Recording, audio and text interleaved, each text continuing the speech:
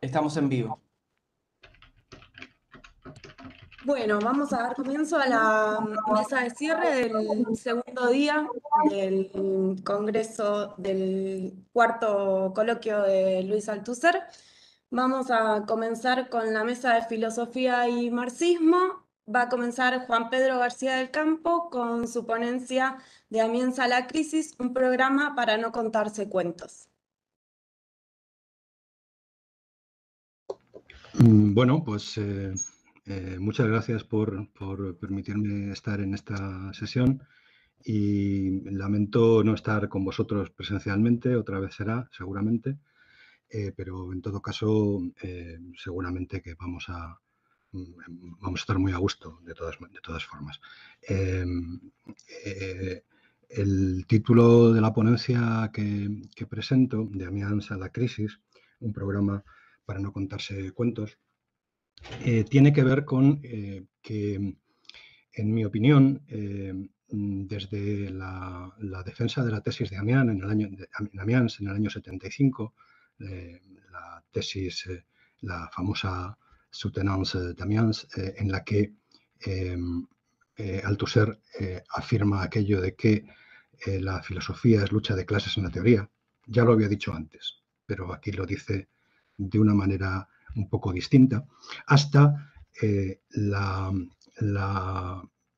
manera en que en el año 78, es decir, en apenas tres años después, en eh, Marx en sus límites, em, da por, por fin em, acaecido el fallecimiento del marxismo, eh, por, por, fin producida la crisis del marxismo, en, en, ese lapso de tiempo y en las cosas que escribe en ese lapso de tiempo, me da la impresión de que se, trabajan muchas cosas que después van a ser importantes en los últimos textos de, Althusser y que eh, nos permiten, eh, creo, entender eh, en qué cosas está trabajando y de qué manera está llegando a las conclusiones en las que está llegando Althusser en este tiempo.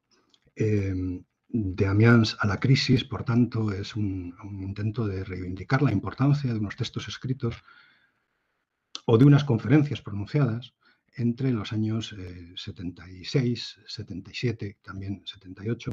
Me refiero concretamente a las eh, conferencias que eh, en el año 76 pronuncia Althusser en Granada en el mes de marzo y en Madrid en el, mes de abril.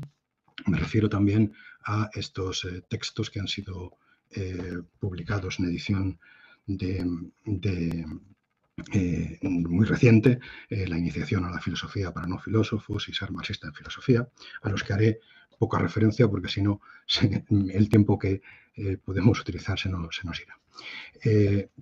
entiendo, en mi opinión, si hay un... A ver, en mi opinión no, no, no puede decirse que haya cortes temáticos o cortes de posición importantísimos en la obra de Althusser. Yo soy de los que piensa que el, último Althusser em, eh, no es el último, sino que es Althusser. Eh, y que em, sucede que hay diferentes modulaciones de la obra altuseriana y de las preocupaciones altuserianas a lo largo del tiempo en el que escribe y en el que hace filosofía, eh, pero me da la impresión de que sí hay un elemento de ruptura fundamental, de ruptura o de, de inflexión en la obra de, de Althusser, que es el momento en el que por fin, dice, por fin ha estallado la crisis del marxismo.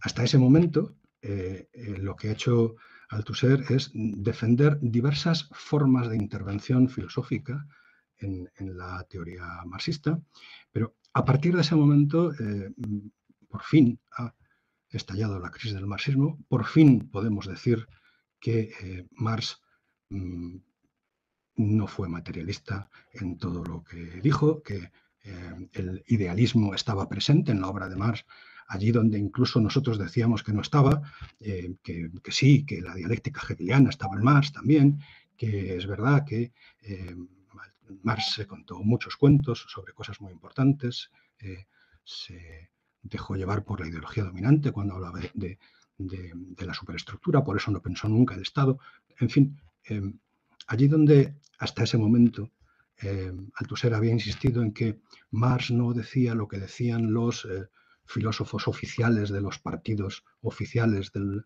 marxismo, sino que decía otra cosa, bueno, a partir de ese momento, por fin, la crisis del marxismo ha estallado, Althusser eh, eh, lo matiza de una manera, a mí me parece que fundamental. No, a ver, no, Marx se equivocó. y por fin, ahora que ya la crisis del marxismo ha estallado, por fin podemos decirlo. Y por fin podemos empezar a pensar nosotros, comunistas, incluso nosotros, marxistas, también al margen de Marx.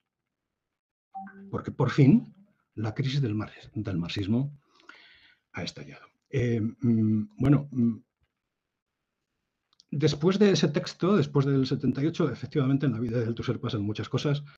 Eh, pasa un eh, suceso horrible en el año 80 en el que estrangula a Hélène Legotien, pasa que se pone muy malito y lo eh, internan y, en fin, y, pasa que mm, deja de, tener palabra que, pronunciar y palabra que escribir, eh, pero eh, a partir de ese momento sabemos, porque se han ido publicando después, que ha escrito cosas muy interesantes que hacen referencia a esto que conocemos como el materialismo aleatorio, el materialismo del encuentro, la corriente subterránea del materialismo del encuentro. Bueno, a mí me da la impresión, yo creo, que la insistencia en esos asuntos eh, por parte de Althusser tiene que ver con lo que ha trabajado precisamente en estos años. Precisamente lo que, lo que ha ido dando vueltas eh, a partir del momento en el que eh, en, la tesis, en, la defensa de la tesis de Amiens, dice aquello de que la filosofía es lucha de clases en la teoría a ver, por supuesto, eh, ya, sé, y ya lo digo también, que esta expresión, la filosofía de lucha de clases en la teoría, no es del año 75, es anterior, está, ya en, eh, los elementos de autocrítica, está, en el 72. ¿no? Lo que sucede es que eh, yo creo que en el 72, aunque la frase está expresamente en, en el texto de Althusser, yo creo que es una variación, creo, me, da la impresión.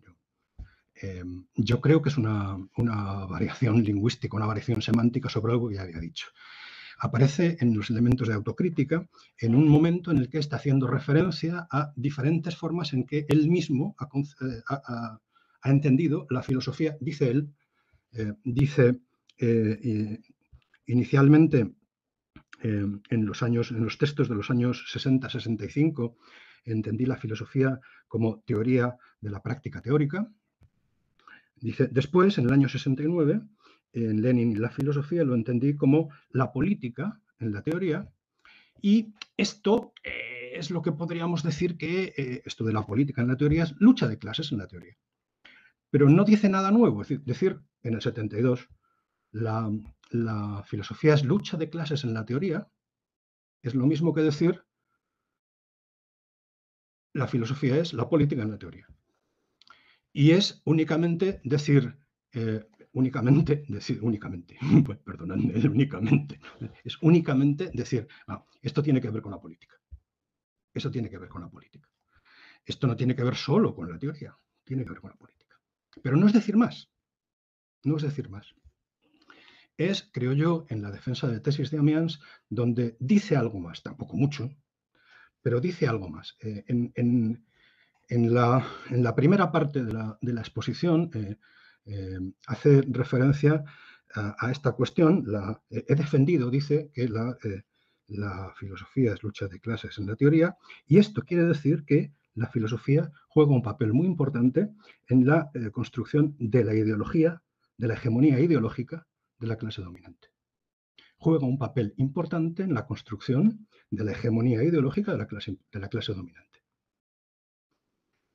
precisamente porque se construye una homogeneización de la ideología de la clase dominante y se construye a partir de la filosofía, lo hace la filosofía, esa es la función de la filosofía, es por lo que digo que la filosofía es lucha de clases en la teoría. Ese es el, elemento de la política puesto a trabajar sobre aquello que hace la, filosofía, aquello que hace la ideología, que es eh, unificar en beneficio de los intereses de la clase dominante las diferentes maneras en que la ideología eh, actúa en las diferentes prácticas que constituyen la, realidad social en el modo de producción capitalista. En esta introducción, eh, en esta primera parte de, la defensa de Amiens, dice algo eh, también nuevo que es importante y que lo dejo apuntado únicamente, eh, que dice que la teoría es una práctica.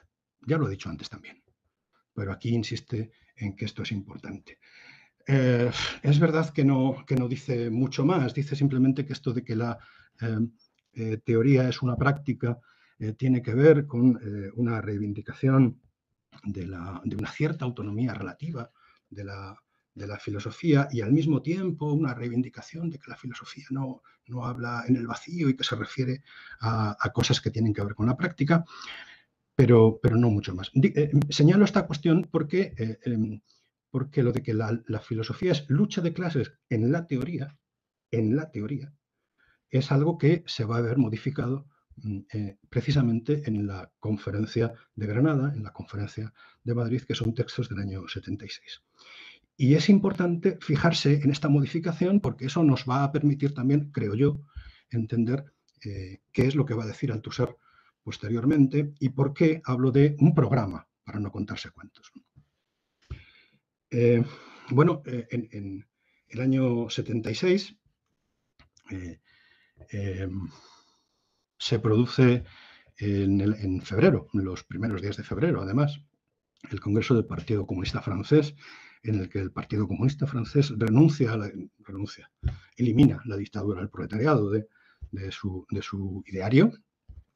Em, y ese mismo año, en el mes de marzo, el mes siguiente, em, eh, Althusser viene a España y hace una conferencia en la Universidad de Granada eh, y el mes siguiente la repite, la misma conferencia, en la Universidad de Madrid. Decir eh, España, año 76, es decir, cinco o seis meses después de la muerte del general Franco, eh, lo cual quiere decir que cuando, hablamos del año 76, de las conferencias de Madrid y Granada del año 76, estamos hablando de un tiempo muy concreto. Hay un exterior a la mm, mm, obra de Althusser que creo que eh, tenemos que tener en cuenta de una manera muy importante. Eh, hay un exterior, una, em, realidad social y una realidad política que está muy presente, creo yo, en la obra de Althusser. Eh, por un lado, España, muerte de Franco. el Partido Comunista todavía no está legalizado en España en, en marzo-abril, si yo no recuerdo mal, es en la Semana Santa siguiente cuando es legalizado en, una maniobra esperpéntica y muy divertida que, no viene al caso, pero... Em, y es el contexto del abandono de la dictadura del proletariado por parte del Partido Comunista Francés. No solamente del, Partido Comunista Francés, hay que tener en cuenta que en, eh, em, los años eh, inmediatamente posteriores se produce aquel fenómeno de la generación de lo que se llamó el eurocomunismo, em, que, que y esto es lo importante para, para Althusser, eh, eh, en el momento en el que eh, el Partido Comunista francés, el italiano y el español, sobre todo, hablan de que es necesario modificar la forma política en la, Unión Soviética y que no debe haber un partido dirigente, sino que tiene que abrirse a otros.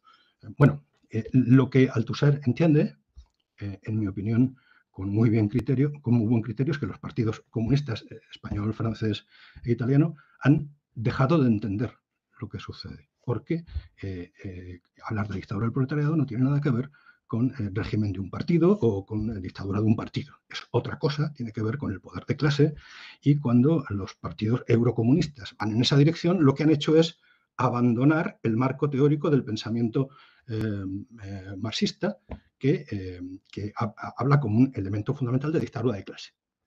Bueno. Em, eh, en, estas, eh, en estas conferencias de Madrid y Granada, lo que hace Althusser es plantear la necesidad de una transformación de la filosofía. Incluso el título con el que se publicó en Granada la conferencia fue este, ¿no? la transformación de la filosofía. En Madrid se publicó en una, en una traducción que hicieron a medias una asociación de alumnos de Derecho y una asociación de alumnos de Periodismo con el título de Filosofía y eh, perdón, de Filosofía y Revolución. Eh, pero es el mismo texto, mm, es exactamente el mismo texto. Eh, lo que hace Althusser en este texto es empezar eh, señalando que va a hablar de la filosofía marxista y va a hablar de la paradoja que supone la filosofía marxista. Una paradoja eh, muy importante porque la filosofía marxista dice, a diferencia de lo que, de lo que sucede con, la, con, la, con, la, manera de plantear los asuntos filosóficos en, otros, en otras corrientes, la filosofía marxista bueno, no, no podemos decir que tenga unos textos propios. Pues, bueno, eh, Marx escribió El Capital, sí, pero y prometió algunas páginas sobre filosofía, pero nunca las escribió. Sí, tenemos el antiduring, pero eso es una crítica a unos tipos que andaban por ahí. Tenemos el materialismo y empiricismo, pero eso tampoco no podemos decir propiamente que hay escrita una filosofía marxista, no, podemos decirla. Aunque es verdad que haya toda una tradición eh, de la ortodoxia del pensamiento que habla de que hay una filosofía marxista que sería el materialismo dialéctico. Eso no está escrito. Salvo que don Joseph se empeñe en otra cosa, eso no... A ver, no... no, Bueno, pues esto es raro. Hablamos todos de filosofía marxista y decimos que somos filósofos marxistas, pero no hay una filosofía marxista escrita. Esto, esto, esto como, se come. Bueno, eh, el, arranque de la conferencia, tanto de Granada como de Madrid, digo, eh, yo no sé si me estoy enrollando mucho, perdón, eh, el arranque de, las, conferencias, tanto de Granada como, como de Madrid, es justamente este. La filosofía marxista es extraña. No es como las demás filosofías. No es, una, no es, como las demás filosofías. ¿Y cómo son las demás filosofías? Las demás filosofías, dice, dice Althusser, eh, las demás filosofías escriben y hablan como filosofías, con un lenguaje propio, no solamente con un lenguaje propio, sino eh, entendiendo que entendiéndose como discursos dentro, por decirlo así, de una familia de discursos, filosóficos que, que comportan conocimientos sobre un objeto propio eh, al que llaman, suelen llamar la verdad, la totalidad, el uno, el ser, y que además está totalmente eh, diferenciado de los demás discursos. La filosofía, escrita y pensada como filosofía, es la filosofía de los filósofos que hablan de sus propios objetos, los objetos filosóficos, que no tienen nada que ver con todo lo demás. Bueno, sí, que tiene que ver con todo lo demás porque al hablar de sus propios objetos filosóficos, eh, al hablar de la verdad, lo que están haciendo es establecer el marco con el que se debe entender lo que se entiende por verdad también en los demás discursos. Si resulta que la filosofía aprendió que debía utilizarse el método racional en la discursividad, lo aprendió de las matemáticas, inmediatamente lo que hizo fue darle la vuelta, invertir la cuestión para decir, no, no, a ver, eh, las matemáticas son racionales porque se parecen a la filosofía y todos aquellos discursos que se parecen a la filosofía son racionales y por tanto son buenos discursos y somos nosotros, los filósofos, es la filosofía la que decide, la que determina qué discursos son buenos discursos y por tanto, qué verdades son buenas verdades. Em, bueno, todos los discursos, dice, dice, dice Althusser, e introduce una cuestión muy importante, los discursos de la ciencia, pero también todos los discursos que no son discursos de la ciencia, sino que son discursos sobre prácticas concretas, y también todos los discursos ideológicos. Bueno, quiero marcar la, referencia de manera especial, por eso me detengo. Bueno, la filosofía no solamente habla de la teoría, sino que habla de todos los discursos. De todos los discursos. Uno de ellos, la ciencia. Es verdad que de una manera especial, porque de la racionalidad de la ciencia toma prestada la forma racional que se autoconfiere y desde la que decide medir todos los demás discursos, desde la que decide que tiene el derecho a medir a los demás discursos. Pero la filosofía no habla de teoría, habla de muchas otras cosas. Eh, hay una, una, especie de frase resumen que, que hace el propio Althusser cuando está conferenciando, dice, en una palabra, la producción de la filosofía en tanto que filosofía concierne a todas las ideas y a todas las prácticas humanas, aunque siempre subordinando todas ellas a la filosofía. Bueno, eh, esto es lo que hace la filosofía de los filósofos, esto no lo hace la filosofía marxista. ¿Por qué? Dice, ¿será un defecto de la filosofía marxista esto? ¿Será que la filosofía marxista no ha conseguido todavía eh, construirse como una verdad? Y dice Althusser, no, yo creo que no. Yo creo que precisamente ese es el mérito de la filosofía de Marx. Eh, eh, que precisamente ese, ese es el, gran, la gran aportación que Marx nos hace en tanto que filósofo. Es decir, que no hace filosofía como la hacen los filósofos, que cuando hace filosofía la hace en el capital, hablando de otra cosa, de la práctica social y haciendo ciencia, haciendo conocimiento, sin mediar ese conocimiento por la norma de verdad que establece filosofía alguna. Lo que hace Marx cuando habla en el capital de la práctica productiva, de las relaciones de producción, cuando el capital eh, explica cómo funciona el modo de producción capitalista, lo que hace es decirle a la filosofía, cuidado, tus derechos sobre el discurso se han acabado, aquí lo que hay es conocimiento de las relaciones de producción, conocimiento de las relaciones sociales. Aquí hay eh, una realidad que es exterior a ti, filosofía, sobre la que no tienes ningún derecho a intervenir, sobre la que no puedes decir nada y que además te pone al margen. Pone al margen tu capacidad de eh, decidir qué es verdad, qué no es verdad, qué debe pensarse y qué no debe pensarse. Porque, mm, eh, voy a ir eh, acelerando porque si no me, me, vais a regañar, y con razón, porque, bueno, porque resulta que la filosofía cuando hace estas cosas, cuando hace filosofía como se hace la filosofía, lo que está haciendo es establecer una unificación de todos los discursos y eso tiene una función, tiene unos efectos sobre las relaciones sociales importantísimos. Porque lo que sucede es que eh, cuando nosotros leemos ahora mismo los eh, autores griegos de la filosofía griega, por ejemplo, de los eh, autores de la filosofía latina o, o cuando leemos los autores del siglo XVII, si nos siguen interesando es porque siguen siendo válidos para nosotros. Y siguen siendo válidos para nosotros porque, eh, cuando digo para nosotros, no digo para nosotros, digo para el mundo nuestro. Y siguen siendo válidos para nosotros porque siguen hablando, siguen teniendo una función que cumplir. ¿Qué función cumplen? Precisamente la de establecer la norma de la verdad. Precisamente la de unificar todos los discursos ideológicos, darles unidad y eliminar las contradicciones que pueden aparecer entre los discursos ideológicos que sustentan las distintas prácticas en un momento determinado. Esa, dice Althusser, es la función que cumple la filosofía. La filosofía mmm, cumple esa función de unificación de los discursos ideológicos y en una sociedad en la que hay clases y en una sociedad en la que hay una clase dominante, sirve a la unificación de los discursos ideológicos para construir la ideología hegemónica de la clase dominante. Tiene una función política. Bueno, aquello de que la filosofía es lucha de clases en la teoría, evidentemente queda muy eh, matizado porque no es lucha de clases en la teoría, sino es lucha de clases en todos los discursos. En todos los discursos.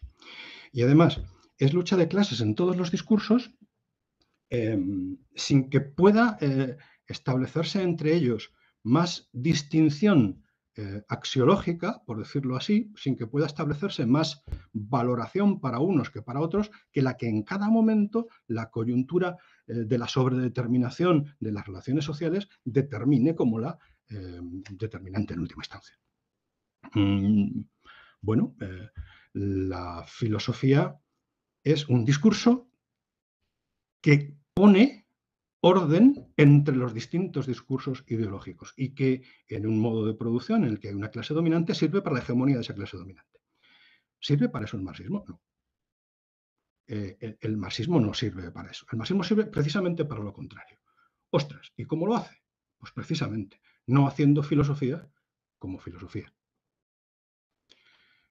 Lo que, lo que eh, lo que permite entender la capacidad deconstructiva, ordenadora del marxismo es que no hace filosofía como filosofía, no establece un discurso que incorpora como interior suyo todo lo que es exterior, sino que reconoce que hay un exterior, una práctica, un ámbito, un terreno social que debe ser entendido, debe ser asumido y debe ser, eh, por supuesto, respetado como existente y como generador de efectos, y no habla de esos objetos extraños. ¿Qué hace la filosofía marxista, si me permitís? Eh, hace una filosofía que no lo es. Hacer eh, filosofía sin serlo.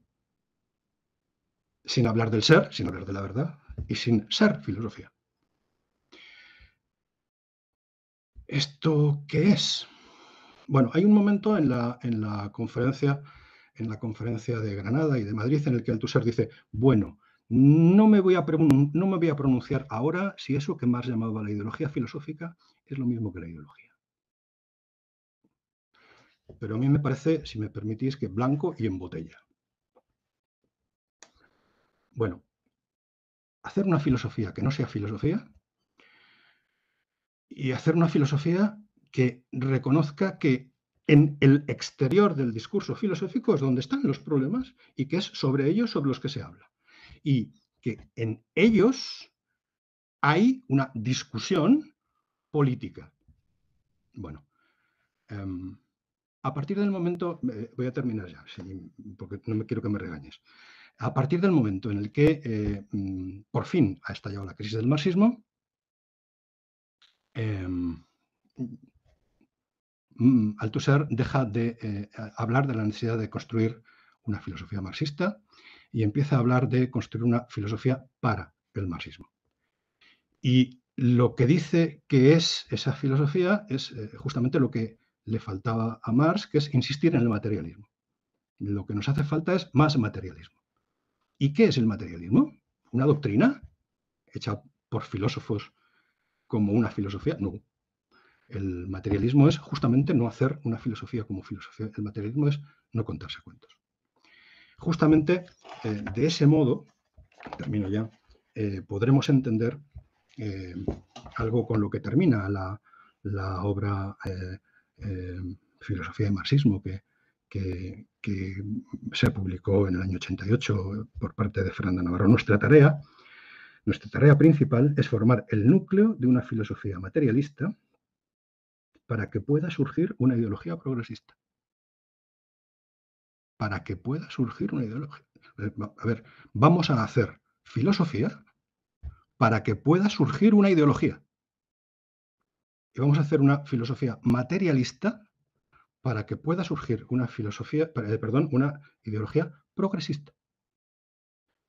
Porque, y me voy eh, para terminar al final de ser materialista en filosofía, y eh, me reconoceréis que la referencia textual es cuanto menos curiosa, porque hasta ahora los filósofos no han hecho sin interpretar el mundo de una u otra manera. Lo que hay que hacer es transformarlo. Gracias.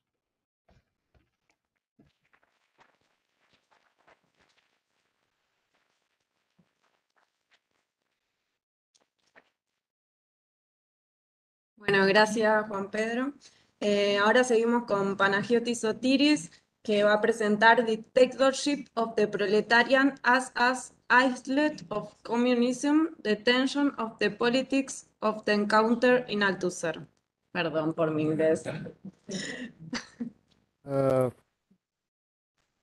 eh, Quiero agradecerte por, por esta oportunidad, los, los organizadores, las, los organizadores de este coloquio. Eh, disculpas por hablar eh, en inglés. Uh, okay. So, on July 6, 1976, while Spain was amidst the turmoil of the transition, Louis Althusser gave a talk at the Catalan College of Building Engineers and Technical Architects, addressing the question of the dictatorship of the proletariat.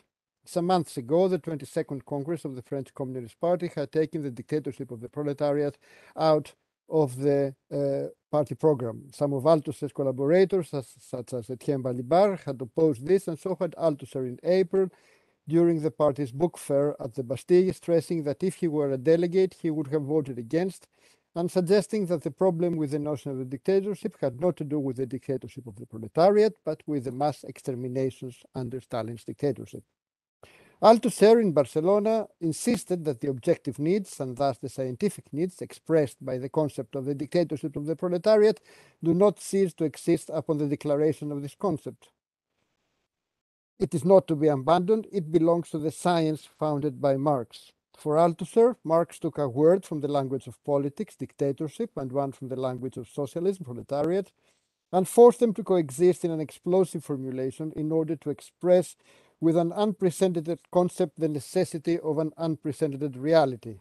It expresses, according to Althusser, that type of absolute power not previously endowed with a name which every ruling class, feudalist, bourgeois, proletarian, necessarily exercises not only at the political level but much more so beyond it in the class struggle that spans the whole of social life. Althusser insists that the dictatorship of the, of the bourgeoisie is the secret to the concept of the dictatorship of the proletariat and that the freest parliamentary bourgeois democracy is the form par excellence of this dictatorship and that the democracy of the widest masses is a thousand times freer.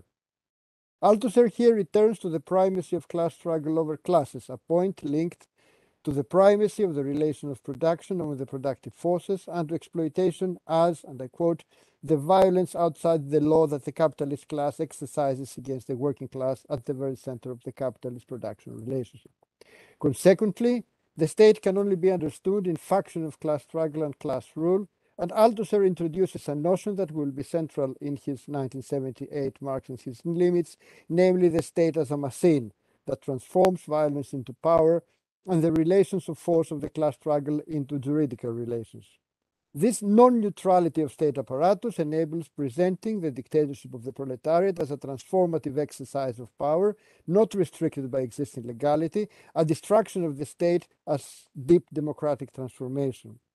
To discuss the political forms of the dictatorship of the proletariat, Althusser returns to a, to a central point in his research in the 1970s, the idea that there is neither a socialist mode of production nor socialist relations of production, and that socialism can only be conceived as a period of intense struggle.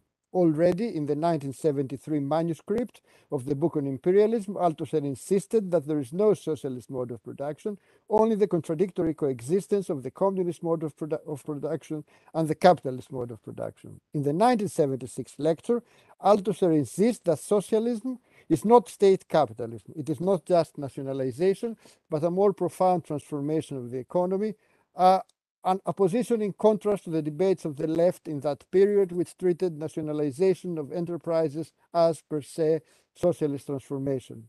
In an analogy with Marx's distinction between formal and real subsumption, Althusser suggests that the crucial challenge has to do with the fact that it is the old capitalist relation that must submit to the new communist form. Politically, for Althusser, this is the challenge of the invention of new forms appropriate to depriving the state of its now transformed functions with the widest mass democracy. This process of invention has to do with the knowledge accumulated through struggle and the forms of democratic functioning already achieved, what Althusser defines as collective memory of the masses. Communist organizations and, and, popular initiatives from below are collective forms that potentially represent communism and act as terrains of prefigurative practices. And I quote, what are communist class struggle organizations if already communism? What are the popular initiatives that we now see emerging all around in Spain, in Italy, and other places in the factories, suburbs, schools, and sectors, if not already communism? Consequently, and I quote, Communism is an objective tendency already inscribed in our society. The increased collectivization of capitalist production, the worker movement's forms of organization and struggle, the initiatives of the popular masses, and why not, certain bold initiatives by artists, writers, and researchers are outlines and symptoms of communism that exist even today. And just a philological uh, note symptoms is from the French translation that uh, from the Spanish translation that appeared in 1978. We do not know why the translator chose symptoms. In other manuscripts, we have traces, uh, traces, uh, and, and other words. Anyway, already in the 1973 book on imperialism, Althusser took the rather provocative stance that communism begins at the same moment that the capitalist mode begins, not in the sense of some teleological dynamic, but in the sense of the dynamics and potential historical horizons inscribed at the heart of the contradictions of capitalism. However, he insists that the forms in which communist elements appear in capitalist society itself are not at all communist elements.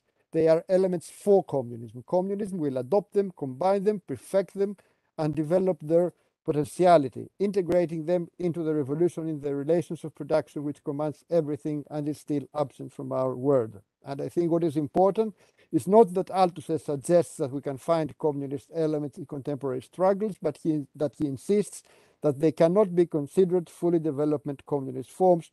Communism has to be built at the end of a long march. The long manuscript that Althusser prepared on the situation in the party and the debates around the dictatorship of the proletariat, Le Waffe Noir, was eventually not published because of objections by some uh, of Althusser's collaborators. By itself, it is a, it's remarkable, offering a critique of the bureaucratic culture of the PCF, his apprehension of the transformation of the Soviet Union into an exploitative and oppressing social formation, crucial insights in regard to the effectivity of class struggles at all levels. The most extensive public intervention would come by Balibar in the form of his 1976 Sur la dictature du prolétariat. Balibar insists that the polemic against the dictatorship of the proletariat is not about a fear of dictatorship, but it is rather a fear of the masses under mass democracy. Apart from the July intervention in Barcelona, Althusser will make another public intervention almost a year after the beginning of the debate in a meeting organized by the Sorbonne Philosophy branch of the French Union of Communist Students on the 16th of December of 1976.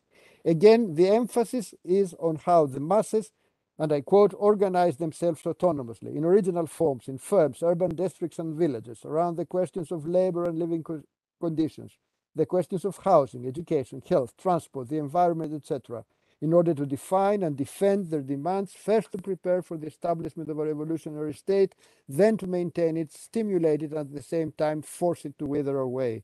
Such mass organizations, which no more can, which no one can define in advance, and on behalf of the masses, already exist or are being sought in Italy, Spain, and Portugal, where they play an important part despite all difficulties. Again, Althusser insists, on the need for a profound transformation of the state. And I quote, to destroy the bourgeois state is not to add the adjective democratic to its existing state apparatus.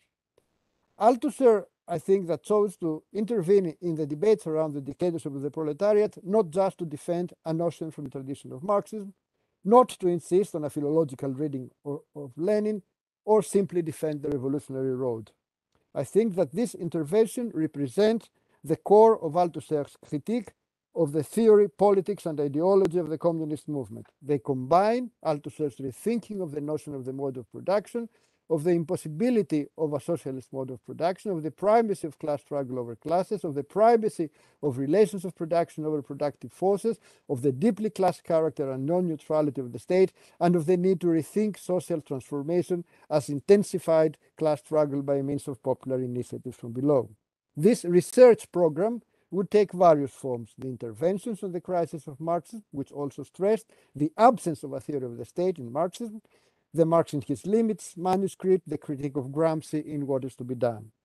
This centrality of the dictatorship of the proletariat for Althusser can account for his emphasis on the capitalist state being a machine turning social force into political power and law, uh, expanding uh, and, and it also expands his seeing of bourgeois states, including advanced liberal parliamentary democracies, as dictatorships of the proletariat of the bourgeoisie, as non-neutral and class-determined political forms that can only be deeply transformed. It is an answer to any conception that the bourgeois state can be used as it is or be self-transformed. It helps us understand his polemics with Poulantzas and his resistance to what he perceived as the danger that Gramsci could be read as an argument in favor, in favor of a reformist approach, something that unfortunately had the cost of Althusser's missed encounter with Gramsci. In Marx and his limits, Althusser insists that the notion of the dictatorship does not refer to a political regime or government by decree, but to class domination, and in the case of the dictatorship of the proletariat, to the transformations such class domination induces and the novel mass democratic institutions such a process requires combined with a cultural revolution. In the 1977-78 Philosophy for Non-Philosophers, Althusser stresses the need for the Communist Party not to be a party of government, even under conditions of the dictatorship of the proletariat, and the need for the greatest possible democracy of discussion, decision, and action so that a new ideology might arise in which history is no longer made by individuals or ideas, but by the self managed masses. Here again, we find this emphasis on communist elements existing, and I quote, in communist organizations, on one absolute condition that no commodity relations reign in them, but only the free association of individuals who desire the emancipation of humanity and act accordingly. However, at the same time, Althusser was following another research program, that of the materialism of the encounter. And as G.M. Gusgarian has suggested, the materialism of the encounter is the non-philosophy of the dictatorship of the proletariat. The political character of the research into the materialism of the encounter was already obvious in elements such as the increased emphasis on the effectivity and primacy of class struggle, on the importance of treating the state as what transforms an excess of social forces into political power and law. I believe that the problematic of the encounter both informs Althusser's attempt for a radical critique of the statism and reformism of the official communist movement and sets the limits of this critique. It informs it by providing an open conception of historical causality and of the complexity, contingency, and possibility of historical ruptures. The contingency and overdetermination of the conjuncture implies the relational, non-linear, and open to different outcomes the effectivity of the class struggle. It points to the question of political practice, the notion of the new practice of politics, and also to Althusser's return to the thematic of the popular initiatives of the masses as experimentation. It suggests accepting contingency, but also working towards it, working towards creating both the elements of a potential overdetermination, but also towards the emergence of communist elements and communist virtualities. On the other hand, there's always the temptation or danger of the encounter being treated as a purely aleatory process, a randomization of any political practice. When this is projected upon the theoretical and political challenges suggested by the dictatorship of the proletariat and the conception of socialism as a transition period of struggles, then this tension becomes more evident. Because the long durée of struggles and transformative practices is overshadowed by this idea of communist elements already existing, communism already existing. Take, for example, the following quotation from the 1978 dialogue with Rossana Rosanda. I quote, Marx thinks of communism as a tendency of capitalist society. This tendency is not an abstract outcome. It already exists, exists concretely in the interstices of capitalist society, a little like the commodity exchanges that existed in the interstices of slave or feudal society. Virtual forms of communism in the associations that accomplish all aspects considered to escape commodity relations. Such a passage can be read in two ways either as a reference to the elements of communism that need a lot of elaboration a struggle through political and organizational forms and strategic options, or as the constant aleatory re-emergence of communist elements in the hope some of these encounters might hold. In the first reading, the crucial question is what kind of political intervention can enhance these tendencies already existing and make good use of whatever unforeseeable dynamics emerge in singular conjunctures. Here, Althusser's constant dialogue with Machiavelli acquires its full potential as a thinking under the conjuncture, a complex dialectic of assessment and intervention in a relations of forces, or as Althusser says, the presence of history and political practice in theory itself. For the second possible reading of the conceptualization of the communist elements already present and active, we can see this in texts like the 1976 Être marxiste en philosophie and thinking of the limit or even the margin. It is a, this notion of the margin as limit, as what is beyond the order of things, or the prevailing configuration of social forms and norms, but in a way that is both inside and outside, both immanent and contingent, a conception that Althusser suggests that Derrida had already convincingly uh, shown. And it is here, I think, that the margin becomes a metaphor or a synecdoche for the emergence of antagonistic social forms and elements and this idea of communism already existing. Uh, whoever has seen the book, there's a very big quotation on the margin. I won't repeat it. Now, it is interesting to note that Althusser in the first draft of en Philosophie explicitly links Derrida's theory of writing with Marx's theory of the dictatorship of the proletariat. And I quote, Derrida has moreover worked out a whole theory of writing, as Marx had worked out a whole theory of the dictatorship of the proletariat, which our leaders have unfortunately failed to understand. Now, how to think this tension? A tentative suggestion. In the 1970s, Althusser treated the distance between the communist organizations and the autonomous social movements as crucial challenge. And I quote, the most important of questions for past and future, how can relations be established with the mass movement, which transcending the traditional distinction between trade union and party, will permit the development of initiatives among the people which usually fail to fit into the division between the economic and political spheres. This, I think, end of quote, this helps understand the tension running through this rethinking of the dictatorship of the proletariat. It is the tension between the centrality of the party form, is the attempt towards seizure of power, which remains part of Althusser's Leninism, and on the other hand, all the emphasis on the autonomous initiatives of the masses viewed as already existing elements of communism, attention perceived within the thinking of historical processes as encounter, contingent, and even aleatory. Althusser attempted indeed to think not only fortuna, but also virtu, the collective ability, organizational and intellectual, to actually think and do politics under the conjuncture, trying to create social, political, and intellectual conditions for lasting encounters. However, this greater apprehension of the crisis of the communist movement takes the form of a greater reliance on the fortuna of already existing and spontaneously emerging elements of communism in autonomous movements. In the end, this leads to a poetic thinking of islets of communism in texts of 19 and interventions of 1980, up to his provocative suggestion in 1986 that the world is in its most part already communist and there are only imperialist interstices. It is in this context and taking into consideration the element of isolation that Althusser would insist on a rather minimalist approach to the question of the party when in the 1986 test Lois he envisions, and I quote, above all, an information bank on the situation of class struggle in all the countries of the world. And I think that is here we have reached the other side of the tension. Now, I think that this, in a certain way, is an inescapable tension of revolutionary politics between the expansive political and ideological forms that are necessary to counter the weight of ideological and repressive apparatus of the state, running at the same time the danger of becoming detached from class struggles and ossified, and on the other hand, mass subaltern movements that are sometimes suspicious or even hostile to political forms. It is the tension between patient organizing and the sudden and unforeseen, highly overdetermined character of social and political explosions that are the only ones capable of initiating sequences of social change.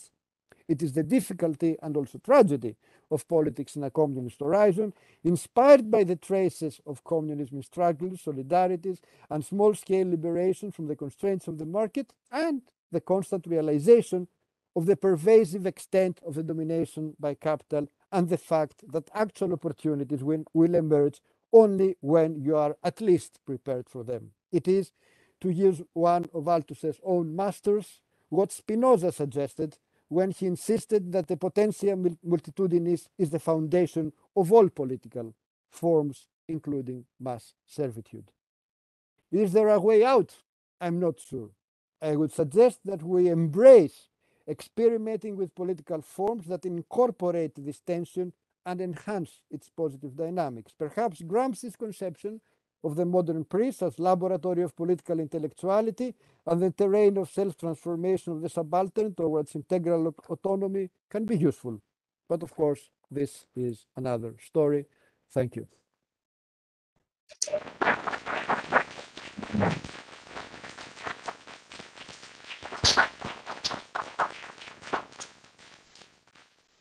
Thank you.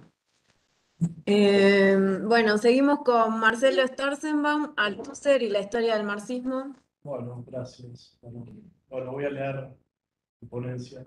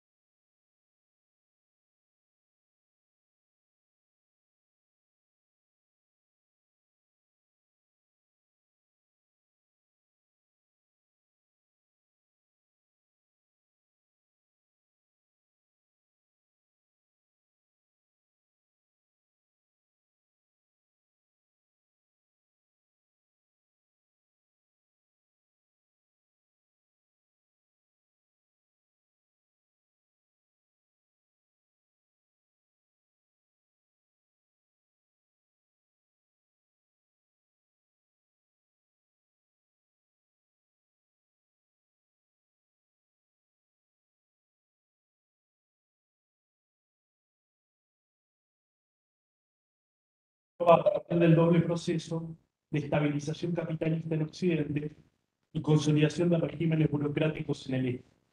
Centrado en la advertencia sobre el divorcio de la tradición marxista occidental con la práctica política, el análisis de Anderson daba cuenta de una serie de cambios formales en el campo del marxismo, tales como el direccionamiento hacia la filosofía, el vínculo entre teoría marxista y teoría burguesa, y una búsqueda filosófica más allá de Marx. En este contexto, el trabajo de historización realizado por André Tossel se destacó por presentar una serie de desplazamientos con respecto a las tendencias principales de las reconstrucciones de la década del 70.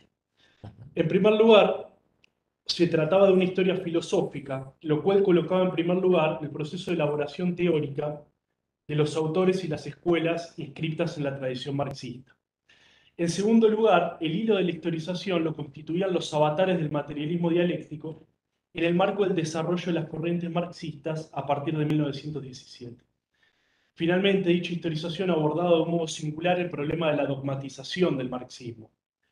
Con el objetivo de reconstruir los ejercicios de elaboración filosófica en el marxismo desde su constitución como corpus teórico hasta el presente de la década del 70, esta historización estaba especialmente interesada en evitar la superposición entre el materialismo dialéctico y las formas vulgarizadas y dogmatizadas del marxismo, especialmente la codificada durante la hegemonía del estalinismo.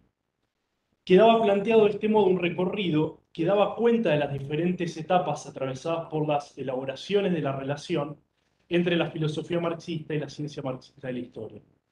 En tanto se trataba de la historización de un desarrollo de la filosofía, este recorrido se detenía en las particularidades de cada uno de los momentos y concluía en una caracterización que daba cuenta de procesos de fundación, retroceso y reactivación. En términos formales, la historización de Tossel coincidía con la idea de que el estudio del desarrollo del marxismo implicaba el análisis de la difusión y las modificaciones de la teoría marxista de la historia, y la difusión del marxismo como práctica política dirigida por los diferentes partidos comunistas que luchan por tomar el poder y construir el socialismo. Sin embargo, junto a estas dimensiones, aparecía jerarquizado el estudio de las formas filosóficas elaboradas en esta historia por los teóricos y dirigentes marxistas para definir el marxismo en su relación con la filosofía, teniendo en cuenta su naturaleza de teoría y práctica de la historia. Dos presupuestos le daban forma a esta historización. El primero, que como teoría verdadera de la historia, el marxismo debía dar cuenta de los modos de dominación propios del proceso de estabilización capitalista en Europa Occidental y de la naturaleza exacta del socialismo en los países en los que el marxismo funcionaba como poder de Estado. El segundo, que el marxismo debía producir la teoría de su propia constitución como teoría de la historia, dando cuenta de sus condiciones de posibilidad, las etapas de su elaboración y difusión, el estatuto y naturaleza de las crisis, que favorecieron las revisiones y la dogmatización. Esta tesis permitía, caracterizar como inevitables las primeras elaboraciones de la relación entre filosofía marxista y ciencia marxista de la historia. Textos como el Antediuring, Ludwig Feuerbach y el fin de la filosofía clásica alemana y materialismo y empiriocriticismo se ubicaban en el centro del problema del desarrollo del marxismo del siglo XX. Por un lado, porque la definición del marxismo como filosofía unida, a una ciencia constituía la primera forma de pensamiento marxista sobre la unidad de la teoría. Por el otro, porque la historia que a partir de allí se abría era la de un malentendido. Las elaboraciones de Engels y Lenin nunca fueron entendidas seriamente, sino que fueron disociadas sin haber sido analizadas y dogmatizadas, sin haber sido sometidas a una tarea de ajuste.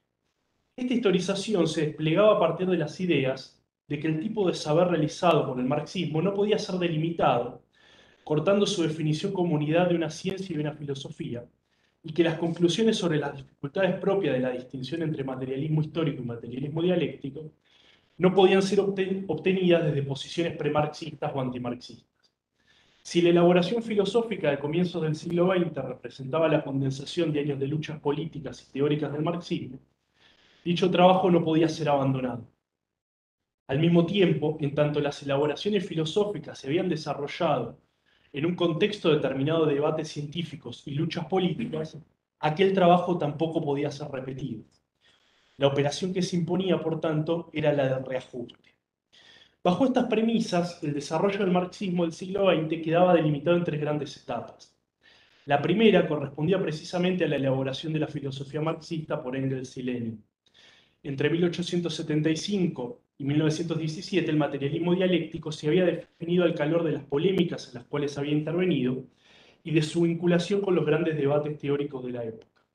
En el caso de Engels, se trataba de reponer los esfuerzos por salvar el materialismo como única filosofía ajustada a las ciencias y dar a las ciencias el conocimiento de sus presupuestos. La elaboración de la filosofía marxista solo podía realizarse a través de una reconsideración de las relaciones entre ciencia y filosofía y la explicitación de la dialéctica practicada espontáneamente por las ciencias. La tarea de reajuste sobre las elaboraciones fundadoras implicaba el señalamiento de una inestabilidad interna en las formulaciones de Engels. La conceptualización de la filosofía como lógica dialéctica podía conllevar el desplazamiento hacia una metateoría anticipadora de los trabajos a realizar y de una ontogénesis de las formas de la materia. Entre la necesidad de una ciencia de las leyes generales del pensamiento y la fijación del devenir de las ciencias en un saber cerrado, Engels seguía un camino estrecho en el que no podía retroceder, pero en el que no podía estabilizarse. En el caso de Lenin, el recomienzo de la elaboración del materialismo dialéctico era comprendido en el marco de la crisis del derrumbamiento del mecanicismo en física y la adopción de posiciones agnósticas en el seno del marxismo. Sin un análisis de las dificultades inherentes al materialismo dialéctico, Lenin ponía en movimiento las tesis engelsianas para reafirmar que las ciencias necesitan una filosofía que mantenga su postulado materialista y que desarrolle una concepción dialéctica de la naturaleza y el hombre. El enfrentamiento de Lenin con las posiciones conciliadoras del marxismo constituye una defensa frente al ataque del viejo idealismo. La ocupación del frente dialéctico se presentaba entonces como una necesidad en pos de la preservación del frente materialista. Solo la dialéctica habilitaba un pensamiento materialista de las ciencias, en tanto permitía plantear la validez del saber científico en cada una de las etapas de la historia de la ciencia, aún contemplando la relatividad de los conocimientos científicos. Al igual que en Engels, la recuperación de la dialéctica por parte de Lenin corría el riesgo de transformar un sistema de principio operativo en una metaciencia. En un contexto que ya no era el de fines del siglo XIX, las aporías inherentes a la elaboración del materialismo dialéctico constituyeron las bases de las discusiones futuras. Discusiones que se vieron afectadas especialmente por la recaída del materialismo dialéctico en una efectiva metaciencia, el verdadero marxismo ortodoxo. La segunda etapa del desarrollo del marxismo se inicia precisamente en el momento en el que auténticos revolucionarios intentan romper con el economicismo y con la socialdemocracia alemana, y en ese mismo movimiento asocian acríticamente el materialismo dialéctico al materialismo ortodoxo. Así, al neocantismo le sucede el historicismo del joven Lukács y se abre un nuevo capítulo del malentendido. Se presenta una nueva ocasión fallida cuya posibilidad y necesidad histórica hay que comprender. El retroceso propiciado por Lukács refería en primer lugar a la relación entre filosofía y conciencia proletaria. Al intentar revolucionar el marxismo petrificado de la socialdemocracia, Lukács había direccionado la concepción de la filosofía en el sentido de la realización práctica de la clase obrera. De esta manera, logró defender el materialismo histórico, pero sin proporcionar la teoría de la coyuntura histórica que éste exigía y sin hacerlo progresar o enriquecer. Todo ello condujo a una regresión sobre las elaboraciones leninistas, cuyo centro lo constituía la capacidad de aplicar de manera creadora los conceptos del materialismo histórico en el análisis concreto de situaciones concretas. En segundo lugar, este retroceso refería a los efectos de la centralidad de la categoría reificación en su obra. Al concebir al marxismo como la revelación de la esencia interna del capitalismo, hacía el conocimiento una esfera que expresa una esencia única. La extensión de la reificación a la objetividad de todo conocimiento terminaba devaluando el conocimiento científico, confundiendo el problema de su, cientificidad con el de su articulación en las demás prácticas sociales. La obra gramsciana constituía el otro granito de esta segunda etapa en el desarrollo del marxismo, ¿no? es decir, de la etapa del retroceso.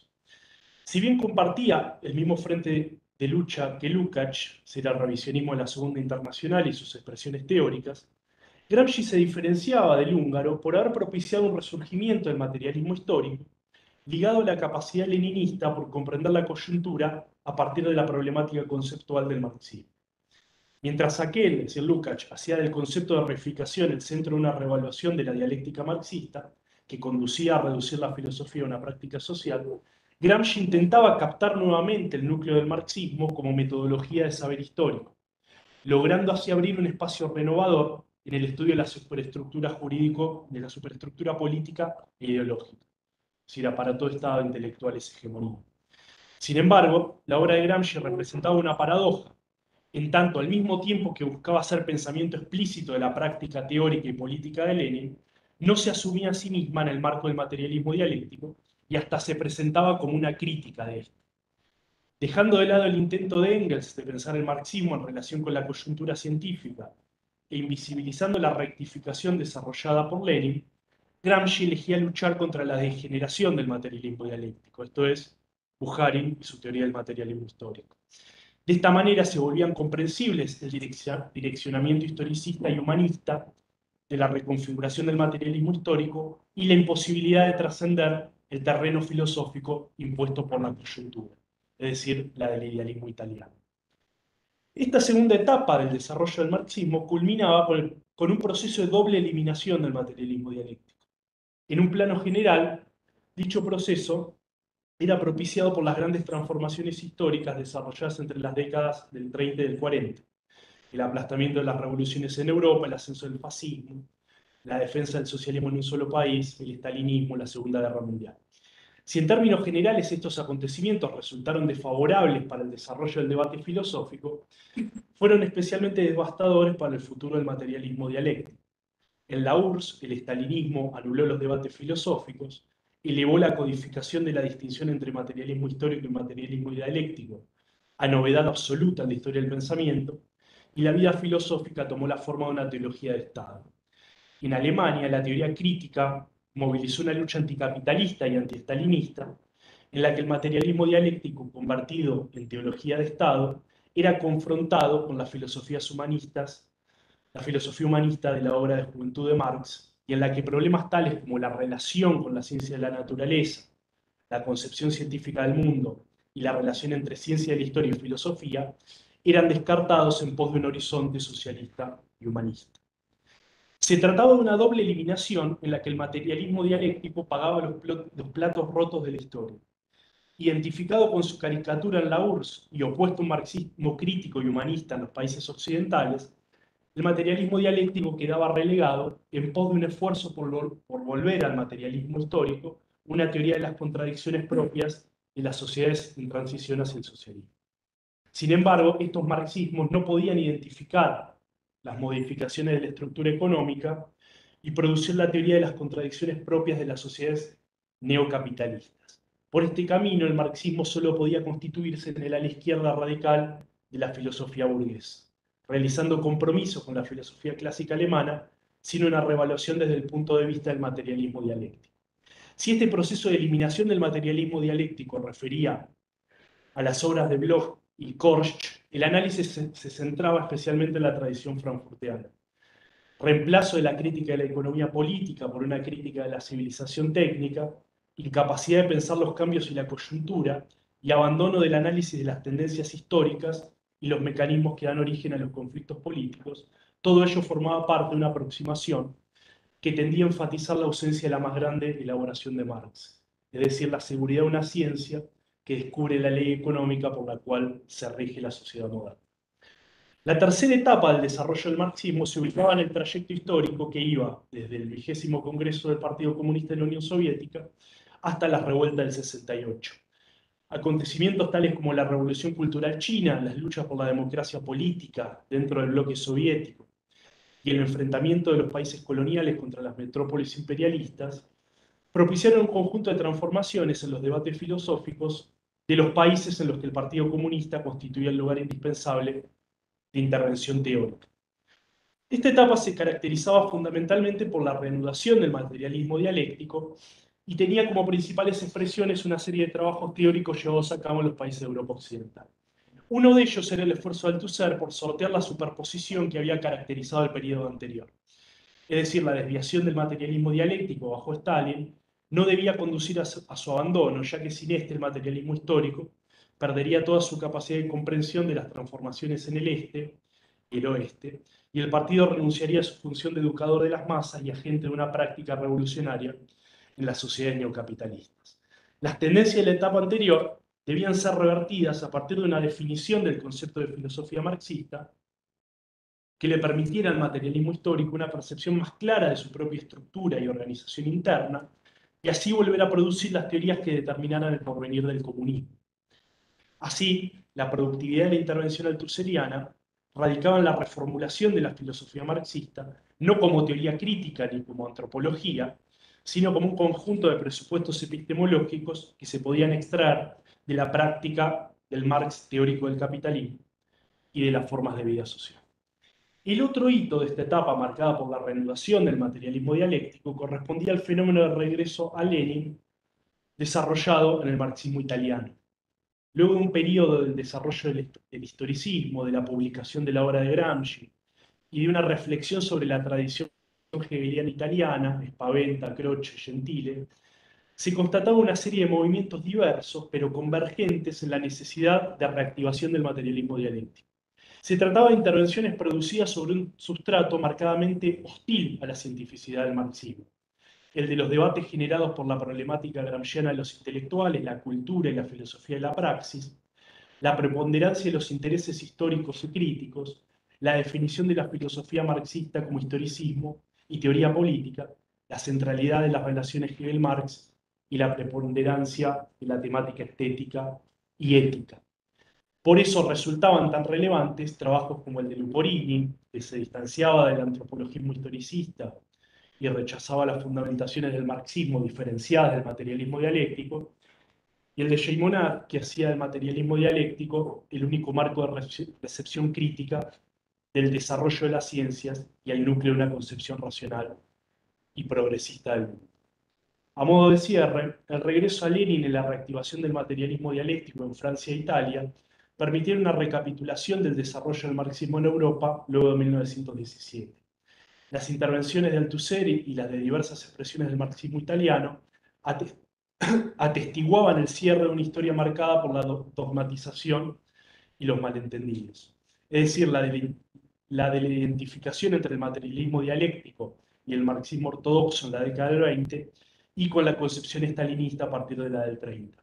Ejercicios tales como la redefinición de la filosofía marxista o el replanteo acerca de la cientificidad del marxismo habilitaban operaciones interpretativas sobre el desarrollo del marxismo en el siglo XX. Por un lado, la de una recuperación de las elaboraciones fundantes de Engels y Lenin.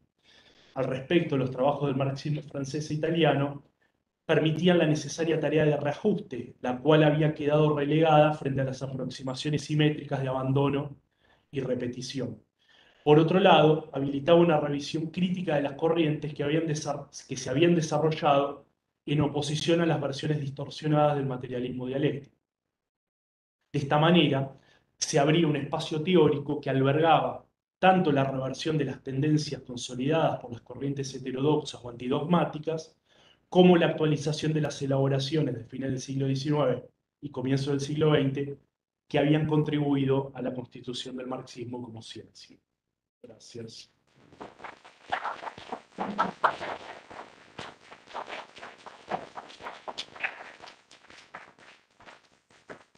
Gracias, Marce. Eh, seguimos con Vittorio Morfino, Il primo a arrivar dopo il materialismo aleatorio, es el nombre de su ponencia. Esperamos un segundo que acomodo esto.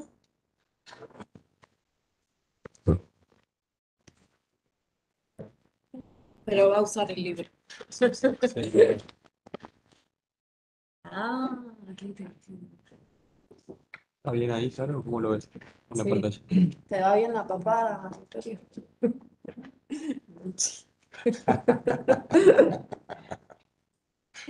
Va bene, grazie, grazie. Intanto volevo ringraziare tutto il gruppo organizzatore dell'invito, è sempre bellissimo essere qui con voi. Purtroppo parlerò in italiano perché questa volta non ho avuto il tempo di, di, di scrivere il testo e di darlo a Esteban che di solito lo traduce, infatti mi ha anche rimproverato. Allora, eh, eh, dunque, tra l'altro riprendo delle, delle linee interpretative nell'intervento che avevo esposto in una giornata alla Plata nell'agosto del 2018. Il titolo era Uno o due materialismi dell'aleatorio.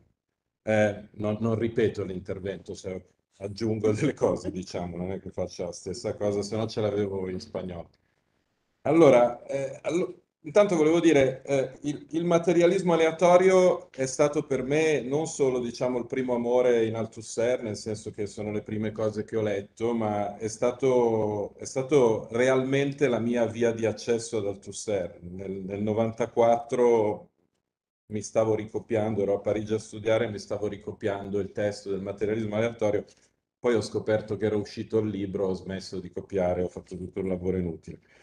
Vabbè, comunque, Insomma, eh, diciamo che sono, sono state eh, al materialismo aleatorio ho dedicato i primi scritti e eh, volevo proporre una sorta di autocritica, ma sviluppandola rispetto alla Plata. Uh, il primo lavoro che ho fatto sul materialismo aleatorio è stato proprio un'edizione dei testi, cioè ho, ho, preso i testi che erano usciti e eh, li ho tradotti con Luca Pinzolo, li abbiamo tradotti in italiano con una piccola introduzione. Eh, va detto che quei testi non sono stati ancora tutti pubblicati, cioè ci sono molti testi, non moltissimi, però tra cui per esempio Machiavelli Philosophe e le tesi di giugno che non sono ancora usciti. Poi avevo scritto subito dopo la pubblicazione dei testi questi, di questa traduzione, avevo scritto due testi due articoli, Il materialismo della pioggia di Louis Althusser, un lessico, Il primato dell'incontro sulla forma. Ora vi sembrerà che mi sono già rincoglionito, comincio a citare me stesso. No, è per fare, è per fare un'autocritica. Allora, eh, volendo riassumere molto velocemente le tesi che emergevano da questi articoli, sostanzialmente sostenevo che c'era una forte continuità tra l'Althusser degli anni 60 e degli anni 80. Per sostenere questa tesi, nel primo eh, articolo facevo una ricostruzione eh, sistematica del, del, del, del, lessico di Althusser, cioè i testi sono molto frammentari, ma io cercavo di, dare, di costruire il sistema, ero, ero giovane, un po' pazzo.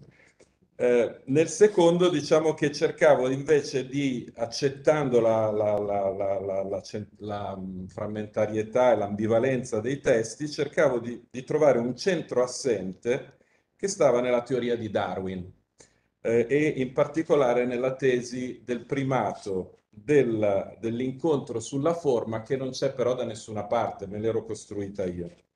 Allora, Naturalmente, per sostenere questa continuità, mi sembrava che la questione centrale fosse quella del vuoto. Ora, Marcello ha proprio citato un passaggio che io riprendo, e cioè io sostenevo in questi testi che eh, l'enfasi sul nulla, il niente e il vuoto avevano solo un significato retorico e non solo se si prendeva la funzione retorica per teorica, si finiva per trasfigurare la teoria dell'incontro in una teoria dell'evento della libertà, che per me evidentemente era normale in quel momento lì, proprio non potevo vedere teorie dell'incontro e della libertà. Era anche una, una, tesi, una polemica implicita con Materon, eh, che aveva appunto scritto questo, questo testo, la, la, la ricorrenza del vuoto in lui Althusser. Questa idea è stata rafforzata da alcuni inediti che eh, eh, ho letto dopo, però in realtà non li avevo letti subito. Eh, sono un gruppo di lettere a Diactin del 66, la l'humanisme, eh, sono stati pubblicati questi tra il 94 e il 95, e una breve nota sur la Genèse, sulla Genesi, che è stata pubblicata in, in, in castigliano eh, cos'è, era nel 2000, sì, insomma, poco, poco, poco fa, eh, da poco. Allora, gli elementi comuni a, a questi tre testi eh, erano, eh, diciamo, una critica del concetto di Genesi attraverso una formulazione del concetto di incontro e quello che mi, mi, mi ha rafforzato la mia, la mia lettura eh, appunto che il vuoto avesse solo una funzione eh, retorica è proprio l'assenza del concetto di vuoto. Solo una volta in uno di questi testi, nella lettera di Actin, eh, Althusser dice il vuoto però come assenza determinata, cioè l'assenza determinata di una cosa produce un effetto ma non il vuoto in senso l'aperto. Quindi queste le ho prese come prova che la mia lettura era corretta, ma l'operazione che ho fatto, e qui sta l'autocritica, di fatto è stato retrodatare il materialismo aleatorio agli anni 60, cioè ho preso il materialismo aleatorio e ho detto ecco, su, qui c'è eh, il materialismo aleatorio e sono la stessa cosa. E mi sembrava che questo, il materialismo aleatorio spostato lì, fosse l'elemento necessario per pensare a una teoria non formalista della causalità strutturale. Mi sembrava che per pensare la causalità strutturale all'altezza della causalità immanente spinozista, perché poi nel frattempo avevo lavorato un po' su Spinoza, si doveva evitare il rischio di cadere in una sorta di neo-leibnizianesimo, che secondo me era implicito nel concetto di combinatoria. No? Formalizzazione degli elementi.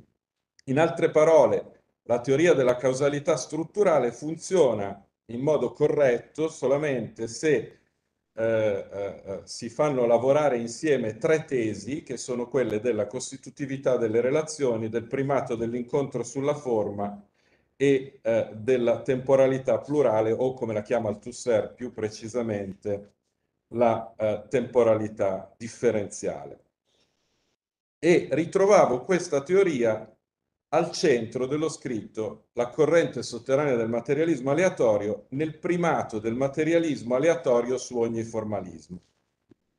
E soprattutto nelle due concezioni del modo di produzione che non hanno nulla a che vedere l'una con l'altra secondo Althusser, eh, eh, cioè la, la concezione teleologica e la concezione aleatoria eh, del modo di produzione. Qui volevo citare un passaggio, adesso non so quanto tempo abbiamo, ma ah, c'è tempo. Allora, Althusser contrappone, eh, e qui è interessante perché in realtà ehm, la corrente sotterranea è divisa in due, in due parti e c'è un taglio in mezzo, non è stato pubblicato tutto il libro, no? non è mai stato pubblicato. Eh, naturalmente nella prima parte il vuoto interviene moltissimo, no? c'è il vuoto in Spinoza, il vuoto in, in Epicuro evidentemente. Qui invece nell'ultima parte, quella dedicata a Marx, a Marx, il vuoto non c'è, ci sono semplicemente eh, due concezioni del modo di produzione, una essenzialista in cui in qualche modo eh, eh, eh, eh le due grandi classi preesistono alla riproduzione, mentre cioè all'incontro, mentre eh, eh, la, la, la, teoria aleatoria è quella in cui eh, eh, le classi sono il frutto dell'incontro, sono l'effetto della relazione. I concetti fondamentali, ecco non leggo la citazione che faccio prima, allora i concetti fondamentali qui sono quelli di incontro, di presa, eh, di fatto compiuto, di combinazione di elementi, eh, di fluttuazione degli elementi e di storia propria, cioè gli elementi hanno una storia propria e quando essi si incontrano danno luogo a un incontro che fa presa, quindi a un incontro che dura, a dei rapporti stabili che danno origine a una struttura che ha delle leggi tendenziali. Ora, questo passaggio ha una fortissima consonanza, questo passaggio che non vi ho letto ma probabilmente lo conoscete tutti, è il passaggio finale del materialismo aleatorio, sono le ultime pagine, eh? ha una fortissima consonanza con la nota sulla Genesi, in cui però vi è un elemento in più di estremo interesse. Qui invece ve lo leggo perché sennò finiamo malissimo, eh, nel senso che non si capisce niente di quello che dico. Allora, eh, Althusser dice nello schema della teoria dell'incontro, della teoria della congiunzione, che, sta, che è destinato a rimpiazzare la categoria ideologica religiosa della Genesi, c'è lo spazio per quello che possiamo chiamare genealogie lineari, dice.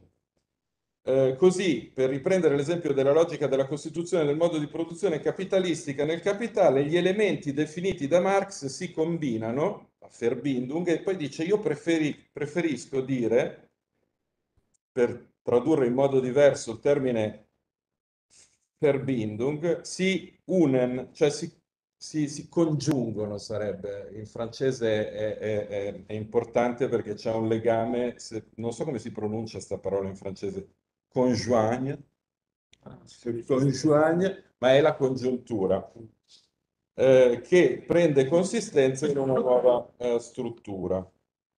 Senz, senz'altro, dice ancora Tusser, ognuno di questi elementi che si combinano nella congiunzione della nuova struttura, nel nostro caso capitale denaro accumulato, la forza lavoro libera e, e, e, e poi le invenzioni tecniche, è esso stesso in quanto tale un prodotto e un effetto. E poi qui la, la cosa importante, ciascuno di questi elementi tiene la, ha, la sua propria, tiene su propria storia, è ridicolo, traduco dal, dal, dal, castigliano, ha la sua propria storia, la sua propria eh, genealogia.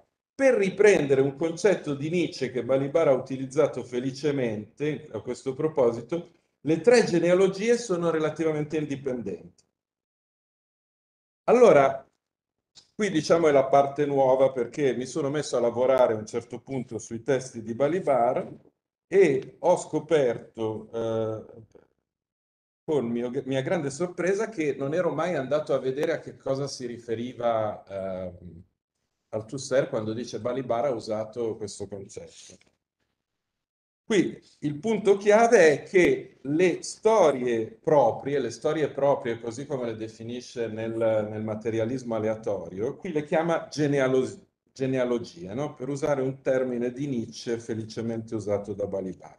E qui entra in gioco Balibar letto dopo il materialismo aleatorio. E il testo a cui si riferisce eh, Althusser sono uh, i concetti fondamentali del materialismo aleatorio, niente di meno che il testo di Leggere Capitale che io dovevo aver letto, ma non avevo capito niente, quindi mi sono rimesso a leggerlo, è stata una fatica terrificante, ho passato l'ultima estate a lavorare come un pazzo su Balibar, l'ho maledetto in tutti i modi e vabbè, poi ho cercato di tirarne fuori qualcosa. Allora, per ragioni di tempo farò delle riflessioni molto brevi, poi se volete il testo te l'avevo mandato a Natalia, per cui puoi, puoi farlo girare. Allora, la prima riflessione è questa. L'uso del termine genealogia potrebbe sembrare evidente nel senso della lettura Foucaultiana di Nietzsche, cioè del Nietzsche eh, della genealogia e la storia. No? Eh, Foucault contrappone Ursprung, Einstehung e Herkunft, essenza a caso, visto il tedesco lo, lo pronuncio meglio del francese. Quello che si, si eh, cito solo qualche passaggio di, di, di, Foucault perché è interessante effettivamente. Quello che si, si trova all'inizio di una storia delle cose non è, non è l'identità, eh, no scusate, non è l'identità lì preservata, lì, lì conservata di un'origine. È la discordia delle altre cose, è l'eterogeneo. La storia impara, bah, la storia aprende también a reírse della solemnidad de los orígenes. È Ezechiel che mi ha dato il testo, adesso io sto ritraducendo tutto.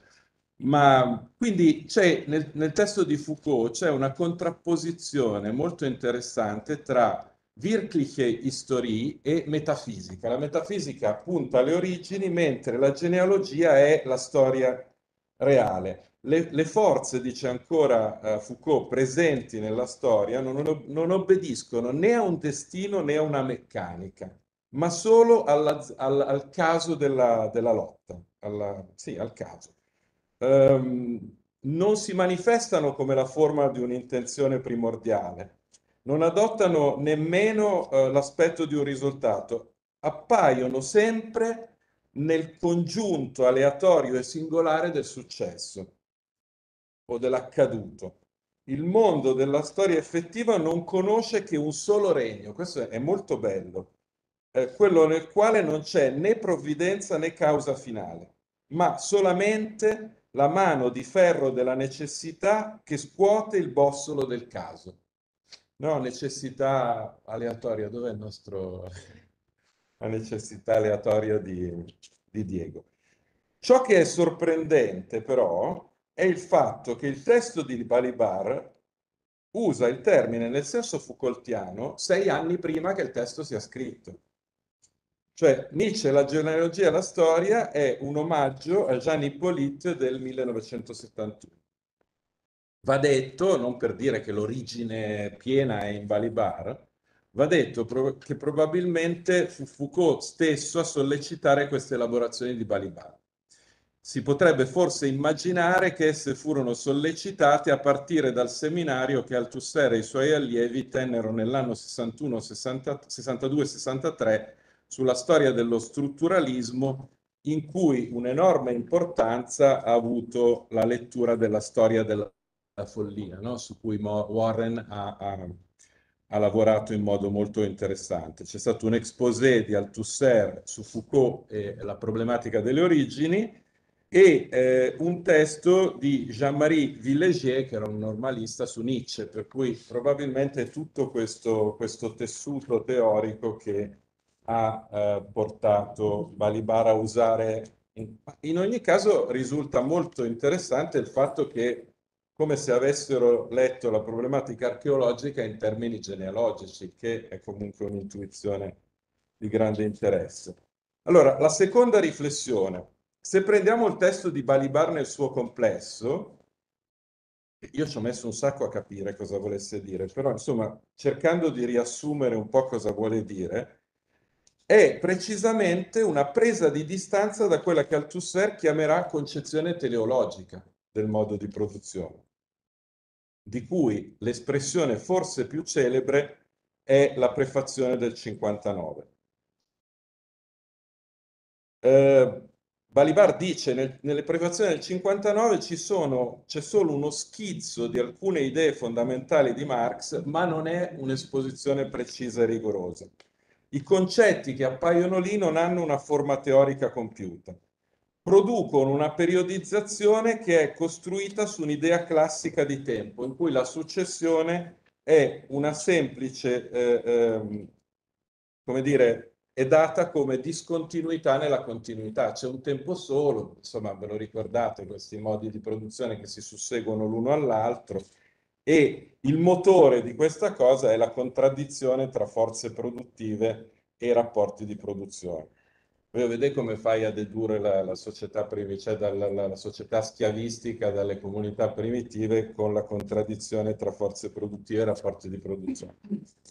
Um, Ora non posso seguire Balibar nella costruzione rigorosa di questi concetti e la cosa più interessante è che lui deduce tutti i concetti del materialismo storico dalla lettura del capitale, cioè li trova nel capitale i concetti del materialismo storico. E è sufficiente dire che nella loro definizione Balibar fa ogni sforzo per svincolare questi concetti da qualsivoglia forma di evoluzionismo, economicismo, tecnologicismo e filosofia della storia. Vale la pena di soffermarsi solo su eh, passaggio in cui Balibar affronta la questione della legge tendenziale della caduta del saggio del profitto. Vi leggo solo un piccolo passaggio. Allora, ehm, Balibar scrive, se esaminiamo una a una le cause che ostacolano la realizzazione della tendenza, vediamo che esse sono tutte o degli effetti immediati della struttura o determinati dalla struttura che fissa i limiti della variazione dei loro effetti.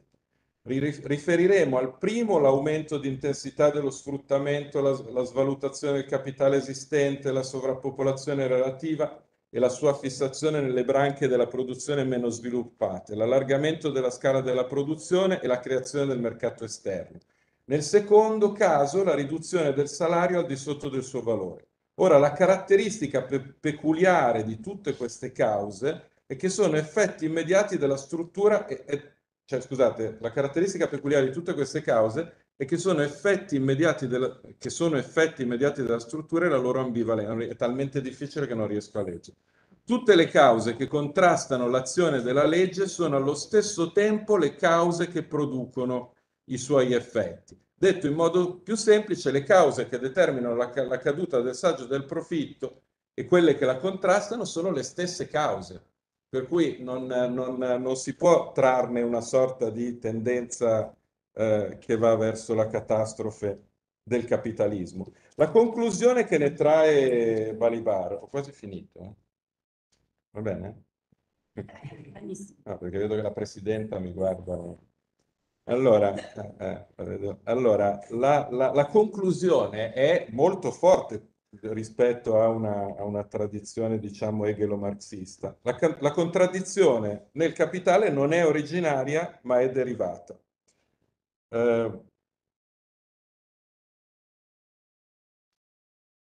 e non solo, eh, eh, eh, non, non c'è una, una, contraddittorietà, ma una specifica complessità del modo di produzione capitalistico, per cui appunto il passaggio a, al comunismo non può avvenire per la semplice contraddizione di forze produttive e rapporti di produzione, ma è dato da, e qui emerge una, una, cosa interessante che anche lì non l'avevo neanche sospettata, la questione della temporalità plurale, che è uno dei, dei, dei, dei punti fondamentali del testo eh, di Balibar, cioè la collisione o collusione dei tempi. No? Collisione, voi sapete, è un termine che usa, usano Marx e Engels nell'ideologia tedesca.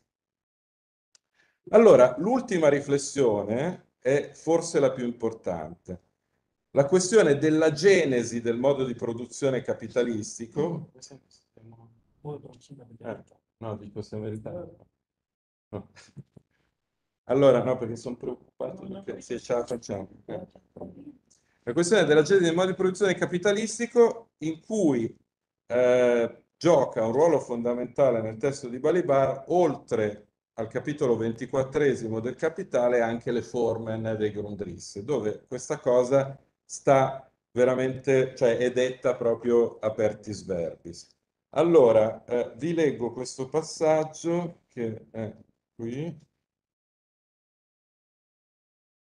La genealogia, è qui che è, arriva il concetto di, di, genealogia. La genealogia non si fa a partire da un risultato glo globale, ma distributivamente, elemento per elemento. E in particolare considera separatamente la formazione dei due principali elementi che entrano nella struttura capitalistica. Il lavoratore libero, storia della separazione del produttore dai mezzi di produzione, e il capitale, storia dell'usura del capitale commerciale. Date queste condizioni, l'analisi dell'accumulazione originaria non coincide e non può mai coincidere con la storia del o dei modi di produzione anteriori al modo di produzione capitalistico conosciuti attraverso la loro struttura. L'analisi genealogica sopprime l'indissolubile unità che nella struttura del modo di produzione capitalistica lega questi due elementi. Come dice Balibar, mettere in campo questa genealogia senza che la memoria la distorca? È un'operazione da condurre non proiettando l'unità del modo di produzione mm, all'indietro, ma individuando elementi nel risultato della loro emergenza. Allora, ultima citazione. E qui è interessante perché compaiono tutti i concetti del materialismo aleatorio, almeno di, di, di, quelli che appunto del passaggio della corrente sotterranea che vi ho indicato.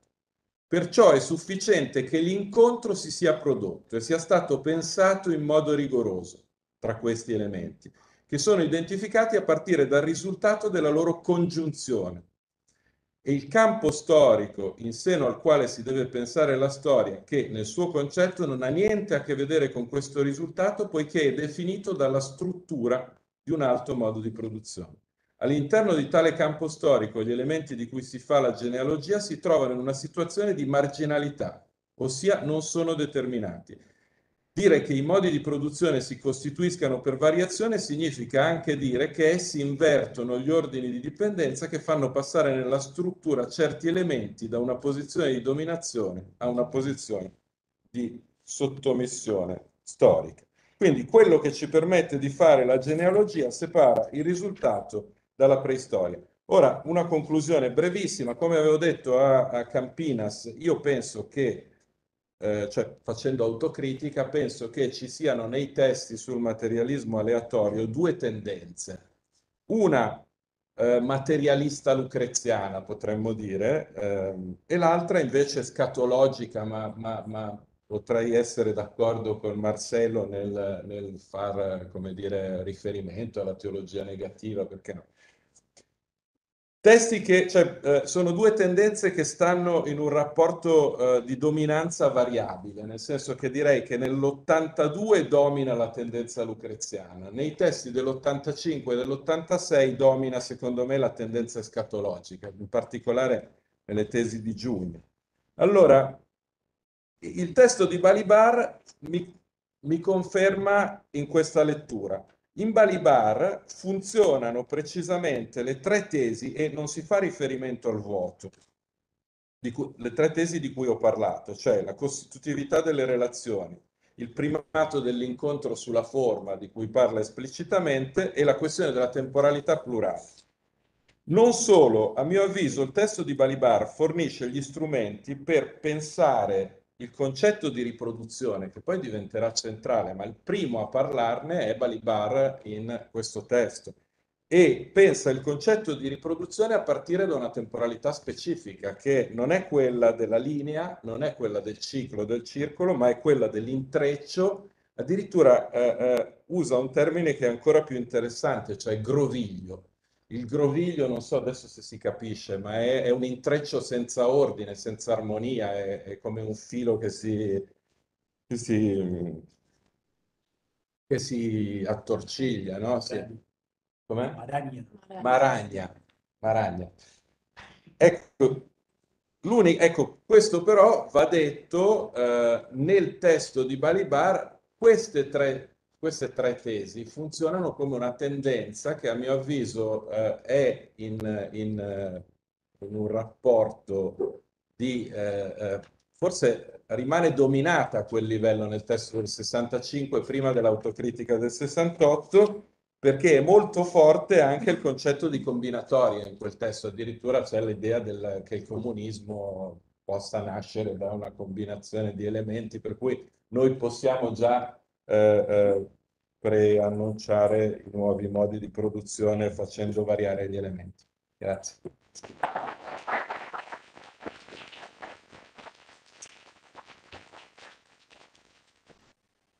Bueno, gracias. Eh, ahora abrimos para las preguntas a los ponentes. A ver si logro apuntar. Bueno, ahí va. Gracias. Eh, yo tengo una, una pregunta para Marcelo.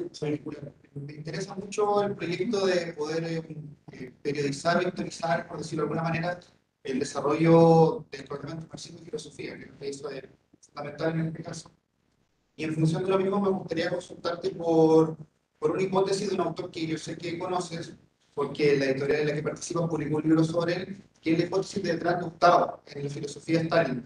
¿Por qué traigo colación de transductado? Porque la lectura que hace transductado sobre la dialéctica en Stalin es que esta no estaría tirada a la tradición idealista alemana, sino más bien a una idea platónica de la, de la dialéctica.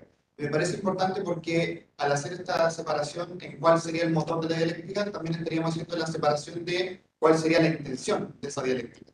Y por eso me gustaría saber si has considerado ese problema o si te parece pertinente, porque a mi juicio al menos para historizar un problema es bueno también saber cuál es el objetivo o, a su vez también el conflicto al que está respondiendo, sobre todo cuando se trata de una filosofía que se articula con una construcción estatal como es el caso de la filosofía en el periodo encabezado por Stalin. Junto preguntas y las hacemos todas juntas, así contestan todas juntas. ¿Alguna más? Me complicaste la logística con la cámara.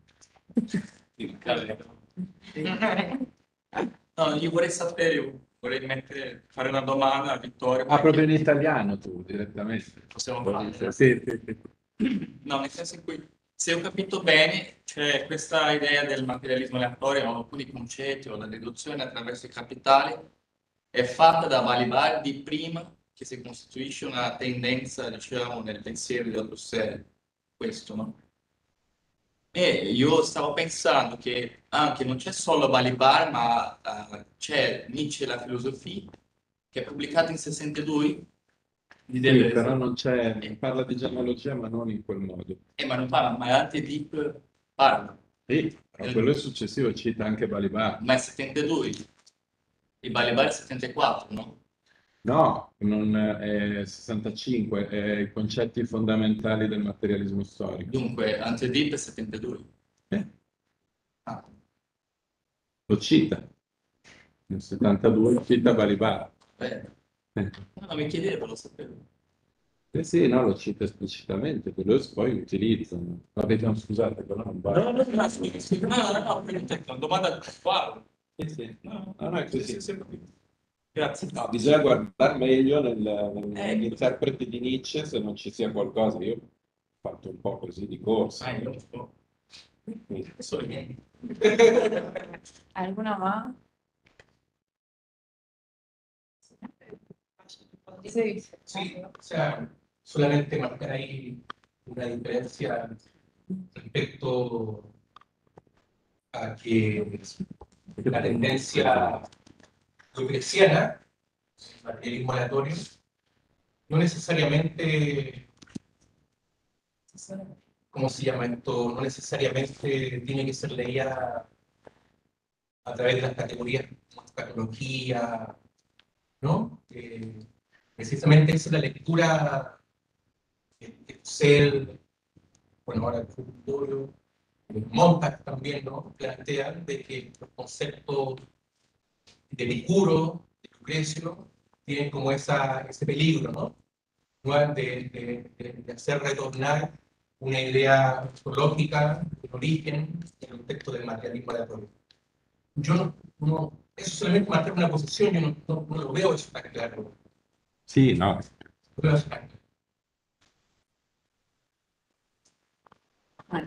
No. Bueno, ¿Quieres empezar? Eh, bueno, gracias Ignacio. Sí, a ver, no, no sé si tengo una respuesta específica a lo de, a lo de Tao, sobre todo porque, bueno, la idea un poco con esta, con este análisis era reponer ciertos, ciertos efectos de, de la intervención altuseriana en la reconfiguración de esa historización, ¿no? del marxismo. En ese momento, que es el de la década del 70, que es en el cual un poco explota ese tipo de, de trabajos, eh, la intervención altuseriana propicia un, un tipo de historización bien específico, ¿no? Eh, que se diferencia tanto de, de esta, de estos manuales y de estas historias generales, ¿no? que, que tienen este, este tenor heterodoxo, ¿no? digamos, y descentrar el problema del marxismo-leninismo, abrir a cualquier tradición que se, se autoperciba como, como marxista. Por el otro lado, el, mapeo andersoniano. Y, y- y un grupo que, bueno, no, no, no mencioné, pero que debería haberlo hecho, que es aquel, digamos, más crítico del marxismo-leninismo, por ejemplo, el, el de Kolakowski, ¿no? La historia del marxismo en tres tomos. Que son, son todos trabajos de historización que tratan de responder de diferente manera al periodo estalinista y de desestalinización, ¿no? Entonces, un poco la pregunta tenía que ver con, con esa diferencia altuseriana en la, en la, en la historización y la, la, la manera diferente a través de la cual Tosel, y nos podría pensar algún, algún otro también que, que lleva a cabo esas, esas tareas, reconfigura esa tradición, reconfigura ese mapa, en un sentido bastante singular, ¿no? que para la década del 70 ese, ese ejercicio de recuperación del momento fundante, que es el de Engels-Lenin, y el de, digamos, el englobamiento de toda la tradición marxista occidental en un momento de retroceso, ¿no? Es una, es un modo de historización bastante, bastante rupturista, ¿no? Sobre todo con estos con este programa de historización que se despliega de, los, de, los grandes, de las grandes historias del marxismo, por ejemplo la de Hobsbawm, ¿no? Eh, pero bueno, habría que indagar eso. No, sé bien en términos de historización cómo se, se, se, traduciría lo de Tao, ¿no? Pero bueno, tentativamente infiero que habría elementos coincidentes con los de Tosel y otros que entiendo que no.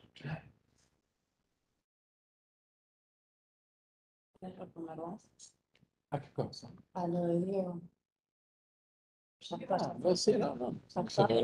Ma ci siamo risposti. Ah, scusate, ero, ero... ero andato negli spogliatoi. No, eh, eh.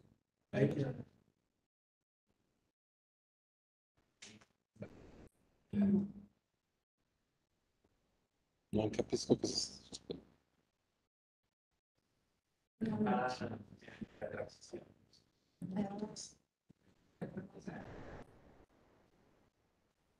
Tenemos una pregunta en el chat, pero no la estoy viendo. Todos queremos decir eso. Chi è quel pelato lì che... Yo te pregunto entonces, Vittorio, ya que estamos en, en, en no, que me interesó esta noción de colisión de tiempo, cómo, cómo la podríamos pensar em, en relación con la temporalidad diferencial. O sea, si tiene alguna relación eh, para pensarla en relación a la estructuralidad de la estructura, digámoslo así, en términos de, de la temporalidad. Sì, è, questo in effetti è il, è il problema chiave, cioè il, la questione della, non solo dell'articolazione dei tempi, ma il fatto che, eh, come dire, una struttura libera anche dei tempi, cioè i tempi non sono armonici, per cui c'è un'articolazione che però non è un'armonia.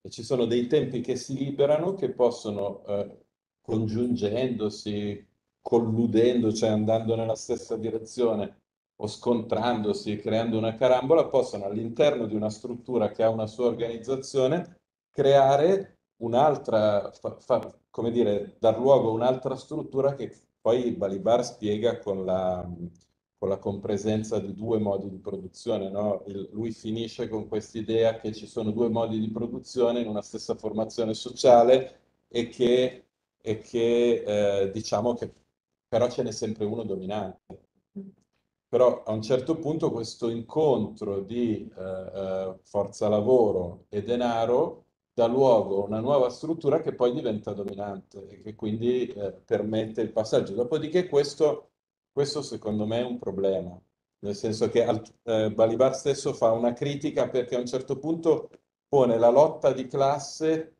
come uno di questi tempi. Eh, nel testo del 74 su, su, sui concetti fondamentali, no, questo è 5 studi di materialismo storico, invece eh, eh, pone la lotta di classe come la struttura stessa, cioè la, la, la, la, lotta di classe non è uno degli elementi, ma il modo di produzione capitalistico è un modo di sfruttamento e quindi è un modo della lotta di classe. Dopodiché non lo so, secondo me la questione fondamentale è pensare non solo l'articolazione dei tempi, ma la possibile disarticolazione di alcuni tempi rispetto ad altri che possono... È un po' come gli atomi di Epicuro, no? che colpiscono i mondi e non è che un atomo distrugge un mondo, ma è la, la, la, i, i, i ripetuti colpi, gli incontri, le ricombinazioni possono dar luogo a, a dei mondi differenti. Ma su, su questa, questa è, è, è, la cosa su cui mi sto spaccando la testa non riesco ad aver chiaro, cioè non ce l'ho chiaro. Grazie. Mira, è una pregunta in italiano. Insomma, per Vittorio. La ves? Te la... È di mia figlia? Marcello Novello. Allora, domanda per Vittorio. Quale fu, se veramente c'è mai stato, l'apporto degli altuseriani italiani Gianfranco Lagrassa e Costanzo Preve? Eh, allora, Gianfranco Lagrassa è stato ha dato un apporto molto importante con Maria Turchetto, cioè ha creato una scuola di analisi economica.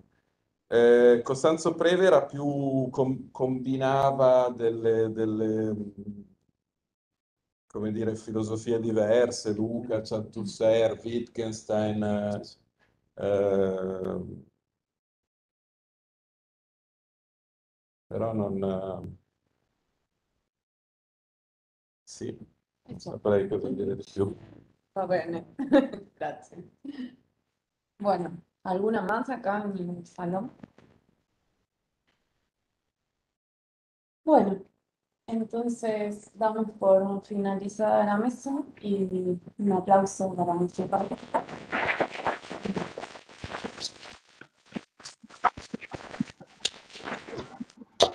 No, invece c'è, Bueno, muchas gracias a todos y